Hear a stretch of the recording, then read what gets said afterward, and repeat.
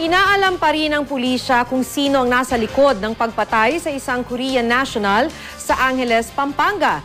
Nitong Sabado natagpo ang nakalibing ang dayuhang biktima sa likuran ng kanyang inupahang bahay. Nakagapos ang kanyang mga kamay at nakabalot siya ng tela. Isinasa ilalim na sa autopsy ang katawan ng biktima, hindi pa rin kasi alam ang sanhi ng kanyang pagkamatay. August 21 nang mapabalitang nawala ang dayuhan.